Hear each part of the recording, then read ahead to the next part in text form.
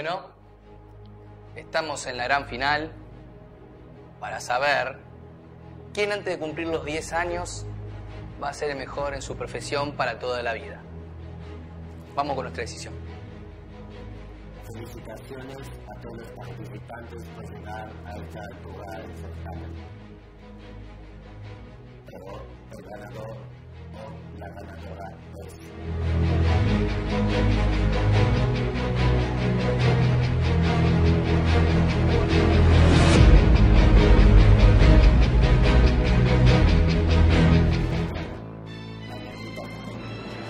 porque sos pobre.